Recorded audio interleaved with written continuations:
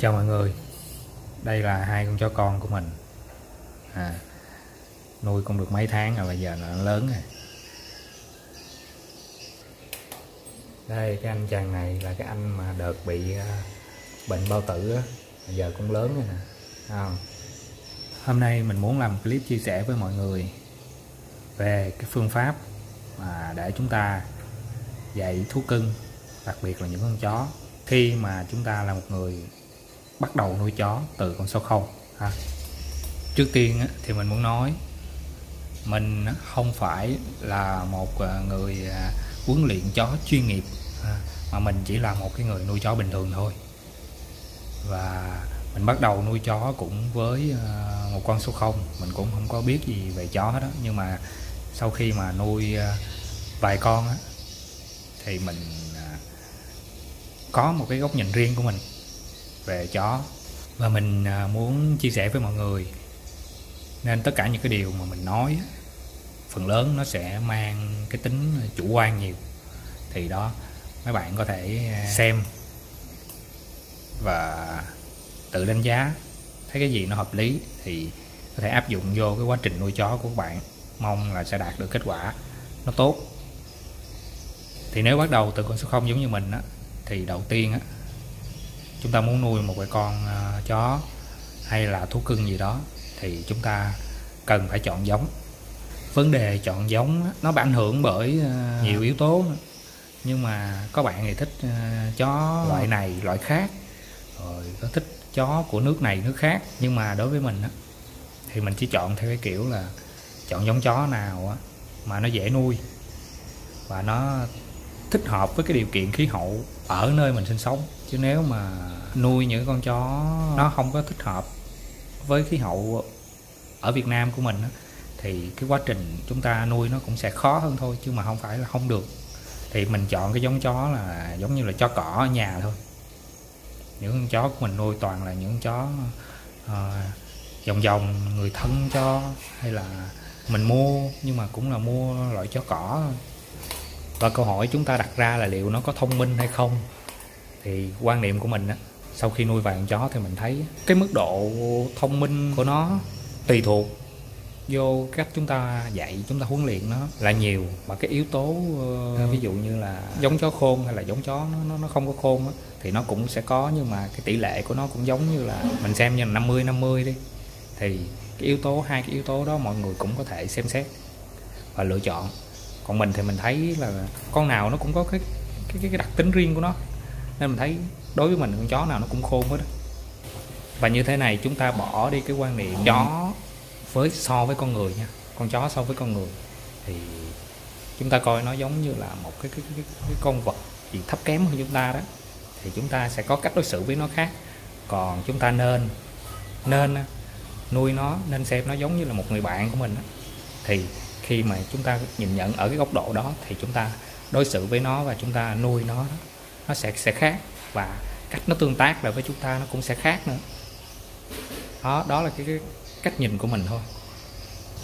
Gấu vô đây con lẹ. Lẹ vô đây. Lẹ lẹ lẹ lẹ lẹ lẹ lẹ đây lẹ đây. Chạy đâu à? À à, nó đi vòng vòng nhà vậy đó cái anh này thì anh đềm đạm hơn. Rồi xem như chúng ta đã qua cái bước 1 ha là chọn giống. Thì tùy theo khả năng của mọi người mọi người có thể chọn cái giống mà mình thích. Nhưng mà nên chọn cái giống dễ nuôi. Rồi một chút xíu nữa khi mà nói tới cái tới cái vấn đề quá trình nuôi á, thì chúng ta sẽ phân tích kỹ là nó dễ nuôi như thế nào á, gọi là dễ nuôi ha. Tiếp theo cái bước thứ hai á, là nên chọn chó lớn hay là chó cho con chó nhỏ. Thì đối với mình á chúng ta nên chọn chó nhỏ cho con mà nó vừa thôi bú có thể tách ra mẹ nó ra được rồi đó thì nó dễ dễ nuôi hơn dễ dạy hơn. Tại vì giống như chúng ta đang dạy những con chó từ cái thổi ban đầu của nó nó sẽ có đủ cái thời gian để cho nó tiếp thu được những cái gì mà chúng ta dạy. À, chúng ta sẽ thấy được cái sự phát triển của nó trong quá trình chúng ta dạy nó nhanh hơn nó nhiều hơn là so với khi mà chúng ta bắt một chó lớn về chúng ta nuôi thì trong quá trình nó lớn thì người chủ trước của nó có thể dạy nó theo cách nào đó mà chúng ta không biết. Khi mà chúng ta về, chúng ta uống nắng nó theo cách của chúng ta, thì đâm ra nó sẽ gây thêm một cái khó khăn. Thì dễ nhất, tốt nhất là nên chọn cho con, chó nhỏ. Nãy giờ quay anh kia nhiều, bây giờ tới quay anh này. Không, quay này cái anh cũng mòn lại nè. Nó cạnh anh lắm. Và cái điều thứ ba đó cũng là cái điều cuối cùng là như thế này. Trước khi quyết định nuôi chó đó, thì mấy bạn nên suy nghĩ coi mình có thực sự yêu thích chó hay không? Tại vì á nó cũng sẽ có những cái yếu tố mà dẫn đến việc bạn nuôi chó. Giống như là thấy người khác nuôi và mình cũng muốn có một uh, cái con vật gì đó mình nuôi mà thực sự mình chưa có gọi là chưa có thích thú gì lắm.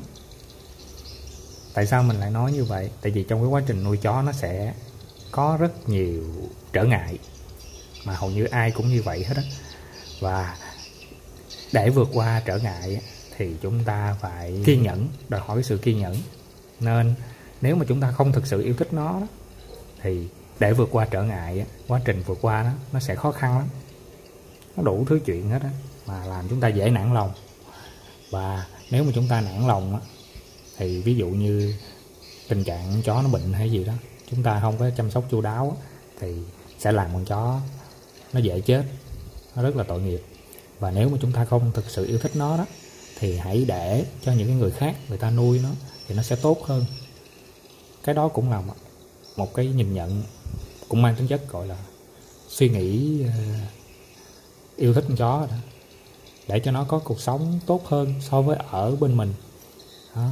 thì vấn đề thứ ba nó là như vậy. Hãy suy nghĩ trước khi quyết định nuôi chó xem chúng ta có thực sự yêu thích nó hay không. Nếu mà thực sự yêu thích đó thì cứ bắt đầu nuôi một con chó.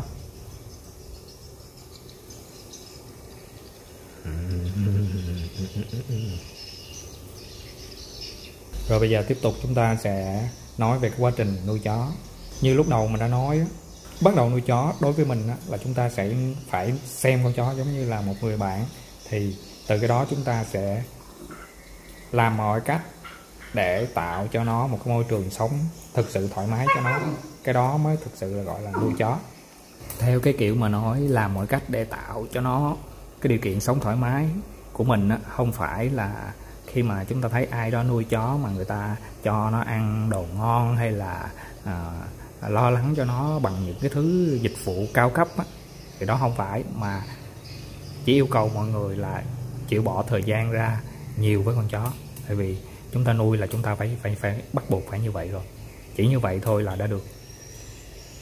Khi mà chúng ta đã bỏ thời gian nhiều với con chó đó, thì chúng ta mới có cái sự nhìn nhận nó nó rõ ràng hơn. Và chúng ta sẽ xử lý những cái tình huống, những cái trường hợp mà con chó nó mắc phải một cách nó chính xác, nó đúng.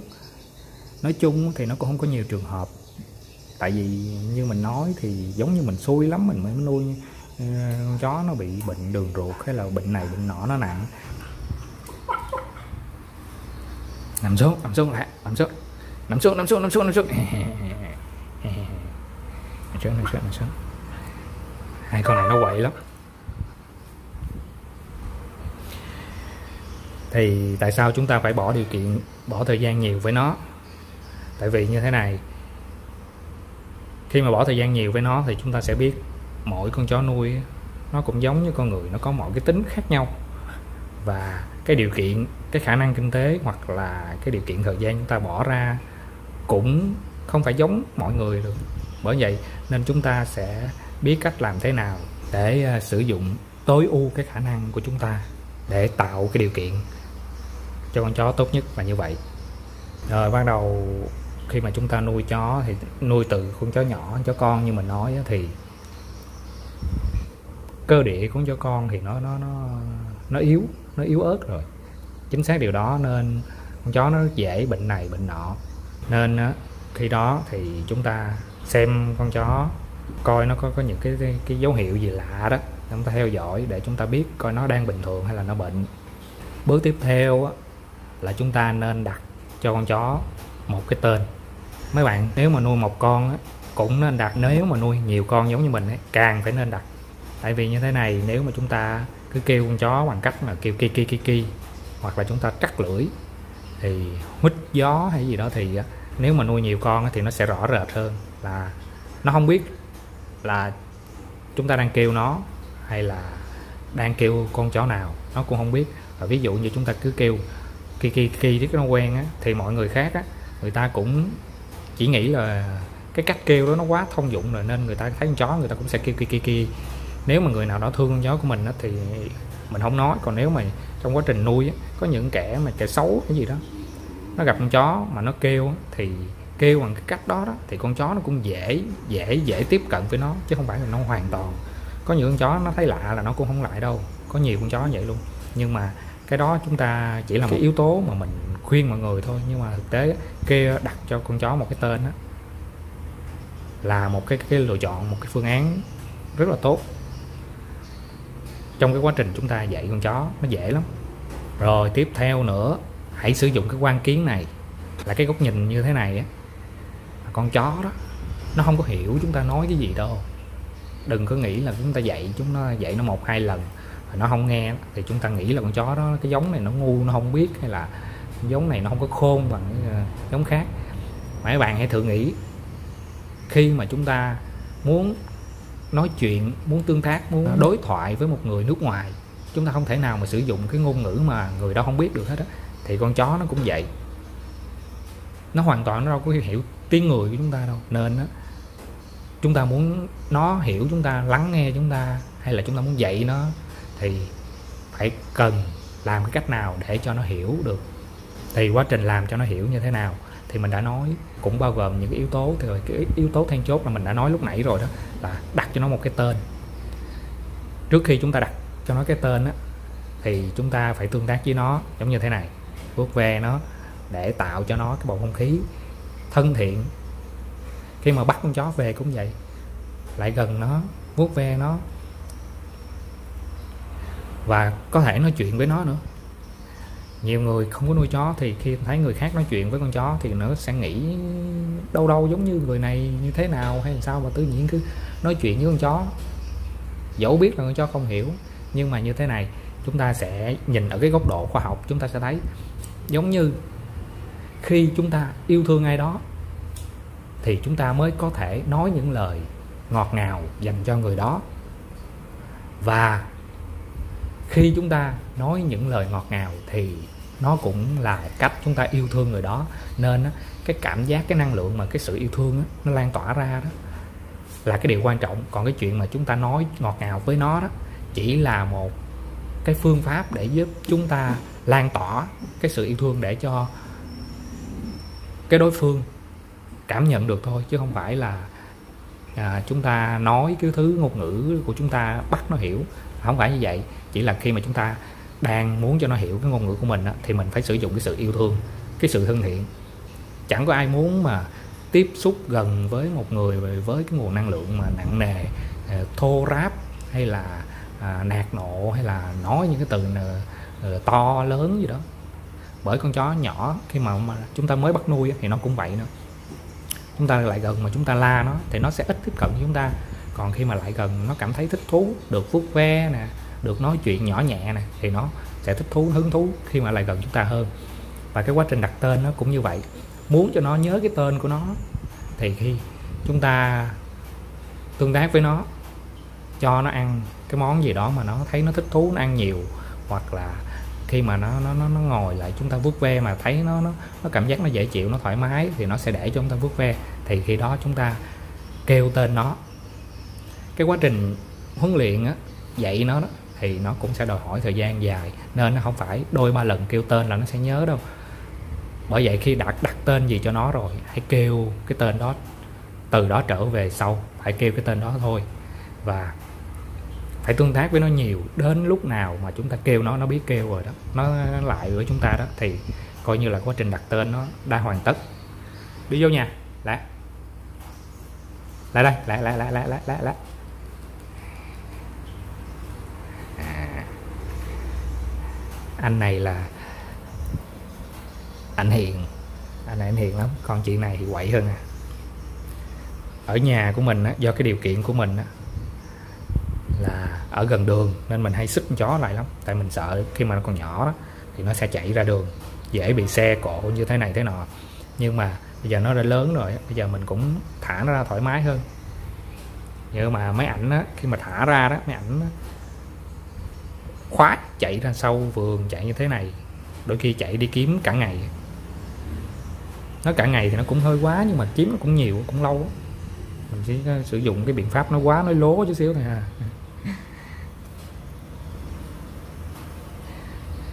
Rồi chúng ta đặt tên cho nó được rồi đó, thì từ đó trở đi nó rất là dễ.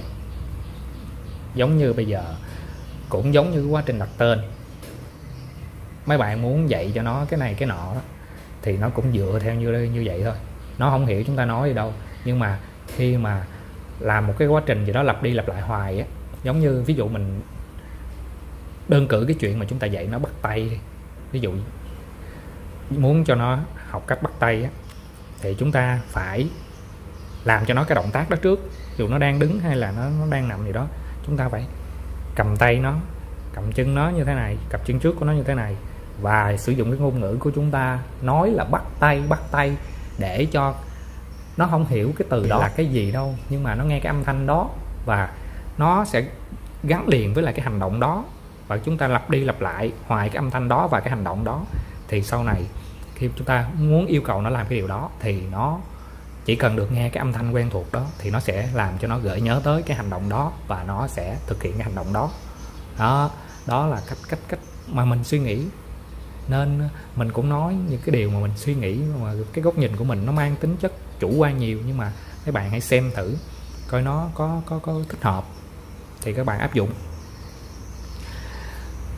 Và như lúc đầu mình nói đó giống chó dễ nuôi hay là khó nuôi á, là nó nó nó cũng quan trọng. Tại vì khi ví dụ như mình nói là một cái con chó mà nó thích hợp sống ở cái khí hậu mát mẻ hay là hoặc hoặc là cái khí hậu lạnh luôn. Mà chúng ta mang về cái xứ sở của Việt Nam chúng ta nó thì cái khí hậu nó nó nóng được nó oi bức. Nó không có thoải mái cho cái cơ thể nó. Nên đã đặt nó vô cái điều kiện không thoải mái thì muốn huấn luyện nó nó cũng sẽ không thể nào đạt được cái mức độ tối ưu được hết á. Nên cái việc mà chúng ta chọn chó nó dễ nuôi ở cái khu vực chúng ta sinh sống nó cũng quan trọng chúng ta chỉ cần suy nghĩ lại chúng ta cần có một cái con vật nuôi nó giống như một người bạn chứ không phải là những cái yếu tố khác giống như là ừ mình thấy người kia có con chó mình cũng muốn có con chó để cho uh, giống người kia hay là à, uh, làm một cái gì đó khác á, thì chúng ta tập trung vô được. Cái vấn đề chủ chốt á, thì chúng ta sẽ dễ dễ dàng lựa ra cái hướng hành động thích hợp. Bây giờ sau vài tháng nuôi hai chó này thì nó cũng lớn rồi và mình thấy bắt đầu nó nó nó nó cũng biết nghe lời rồi. Cũng biết nghe lời nhưng mà đối với mình lúc mà mình nuôi chó đầu á, thì mình cũng hay dạy nó dạy nó nhiều trò. Nhưng mà bây giờ nuôi chó mình thích để cho nó tự do. Tự do nhưng mà cũng phải là thả rong rêu cho nó. Tự do trong cái khuôn khổ như thế nào để cho nó thực sự an toàn. Chứ nếu mà tự do mà đến nỗi chúng ta kêu nó nó không lại thì nó rất là dễ làm những cái hành động gây nguy hiểm cho kể cả nó và kể cả những người khác hoặc là những con vật khác nữa. Ví dụ vậy nên tự do trong cái khuôn khổ an toàn. Thì đối với cái điều kiện sinh sống của mình ở đây thì à, lâu lâu mình cũng thả cho nó chạy vòng vòng cho nó chạy cho nó thoải mái nó rồi có nhiều khi cũng đi kiếm đi kiếm nó hoài. Trời mưa trời gió cũng đi kiếm nó hoài. Nhưng mà vẫn chấp nhận vậy. Tại vì mình cũng không muốn ai mà xiềng xích mình đâu. Thì mình nuôi một con vật nó cũng vậy. Mình cũng sẽ phải tạo điều kiện cho nó để cho nó sống cuộc đời của nó thực sự là thoải mái. Rồi tiếp theo nữa là con chó nó là một sinh vật. Không nó là một cái cái cái cái cái cơ cấu một cái bộ máy sinh học gọi là hoàn chỉnh ở cái giống loài của nó rồi. Nên á, mỗi con á, nó giống như là con người nó có mọi cái, cái tính khác nhau chứ nó không phải. Nghe người khác nói ừ tôi nuôi con chó tôi như thế này và mình đem về mình áp đặt hết cho con chó của mình á thì nó cũng lịch lạc lắm. Nên á, mỗi con nó có một cái tính khác nhau nên chúng ta đã bỏ thời gian nhiều với nó thì từ từ chúng ta sẽ cảm nhận được cái con chó này nó như thế nào nó thích cái gì nó không thích cái gì. Con chó kia nó như thế nào nó thích cái gì nó không thích cái gì. Và chúng ta làm sao để dạy nó, song song với việc nuôi nó, kể cả chúng ta và nó đều thoải mái, là như vậy. Giống như dạy nó đến cái mức độ nào đó. Nó làm những điều sai, mình phải áp dụng từ từ. Ban đầu, ví dụ như thế này. Chúng ta muốn nó làm cái điều hành động đó mà nó không làm, hoặc là nó làm một cái hành động có thể dẫn tới gây hại cho nó hoặc là gây hại cho ở nhà, giống như là cắn dép hay là gì đó. Thì muốn cho nó đừng làm điều đó nữa, thì chúng ta cũng sẽ sử dụng cái phương pháp giống như là đặt tên hay là dạy những cái trò gì đó. Thì chúng ta sử dụng cái ngôn ngữ nó khác, cái giọng điệu của chúng ta khác là chúng ta đã đang tạo ra cái nguồn năng lượng khác rồi. Nên giống như nó đã quen với cái cảm giác chúng ta vuốt ve nó nói ngọt ngào nó, nhưng mà khi mà nó làm điều sai thì chúng ta hãy la nó. La nó từ từ. Thì dần dần nó sẽ quen với hai cái cách tương tác khác nhau rõ ràng của chúng ta. Là một là chúng ta yêu thương nó, còn một là chúng ta la mắng nó. Thì hai cái đó, hai cái nguồn năng lượng tương tác với nó là nó khác hoàn toàn rồi. Nên chẳng có con vật nào mà nó muốn bị sống trong một cái điều kiện mà ngặt nghèo, nặng nề đâu. Nên nó sẽ tự nó lựa chọn cái điều kiện sống của nó thoải mái thì nó sẽ phải lắng nghe chúng ta thôi. Còn có những trường hợp mà chúng ta đã la nó rồi, có thể là đánh nó nữa, kể cả con chó. Hai anh này là bị đòn thường xuyên, nhưng mà đánh không phải là mình đánh như thế nào đâu, chỉ là mình có cái roi la nó hoài không nghe. Đánh một rồi vô đích là anh sợ rồi nên á, bây giờ nhiều khi mình cầm cái roi á là nằm nằm sát xuống hết à. Anh này cũng vậy nè anh này nhát lắm. Còn á, cái chị này thì chị này hơi bị lì hơn chút xíu. Bây giờ lớn rồi biết rồi. Kêu vô đây nóng nực buổi trưa là nó nó nó nó nó, nó không vô đâu. Thấy cầm cái roi la nó cầm nó nó nó nó vẫn lì cái mình cầm cái roi lên là nó chạy vòng lên trước nó leo lên trước. Nó chui vô trong cái cái cái cái cái ngõ của cái tủ thờ nhà mình á chỗ đó nó mát nó nằm trong đó. Nên đó, khi mà chúng ta thấy một con chó mà nó đi ra ngoài cái dự tính của chúng ta thì từ từ lại suy nghĩ coi nó có vấn đề gì để chúng ta hiểu nó. Ngược ngạo bây giờ mọi người nghe chúng nghe mọi người nghe mình nói là chúng ta hiểu nó tại sao mà chúng ta dạy nó mà chúng ta lại phải hiểu nó. Mọi người nghe có vẻ ngược ngược nhưng mà thực tế cái đó mới là cái đúng tại vì á, muốn dạy một con vật á, thì phải xác định được mình là người phải hiểu hơn nó thì mình mới dạy cho nó được. Còn nếu có ai đó mà đi dạy một cái người mà người ta giỏi hơn mình không? Tất nhiên không thể nào làm điều đó được. Cái điều đó mới là cái điều ngược ngạo đó. Còn chúng ta đang làm một cái điều rất là tự nhiên rất là đúng đắn là dạy nó thì chúng ta phải là người hiểu hơn nó. Thì hiểu hơn nó thì chúng ta phải xử lý vấn đề tốt hơn nó. Khi mà đã xảy ra vấn đề gì đó chúng ta phải là người thấy được cái vấn đề nằm ở đâu để chúng ta giải quyết. Rốt ráo cái vấn đề đó thì vấn đề đó mới không không tái diễn nữa thôi. Nên con chó nó cũng vậy có những trường hợp nó sẽ không nghe lời thôi nhưng mà chúng ta phải hiểu được tại sao nó không nghe lời. Lúc có thể nó đang bệnh đó, mà mọi người không biết rồi có thể quá thích cái điều gì đó. Chị này rất nè rất là thích rất là thích chạy ra làm sao bãi rác. Cái anh này á, nếu mà thả anh ra một mình thì nó cũng đi hồi nhỏ thôi hồi nhỏ thôi đi vòng vòng thôi. Hôm nay là có dấu hiệu rồi. Thả ra một mình á, mà nhốt con gấu lại là một mình nó đi ra bãi rác luôn. Hai hai chị này hai anh chị này rất thích ra ngoài. Ra ngoài để nó có được à, gặm nhấm được những cái cái cái mùi vị lạ. Tại vì khứu giác của con chó nó tốt lắm. Nên đôi khi chúng ta không phải chúng ta cho nó cái đồ ăn ngon là nó sẽ không đi ăn tầm bậy đâu. Mà giống như là nó có những cái hương vị lạ. Nó sẽ làm gây gây cho nó cái cảm giác hứng thú thích thú. Và nó phải lại đó nó phải gặm nhấm cạp hay là nó tha về nhà nó làm đủ thứ trò hết á.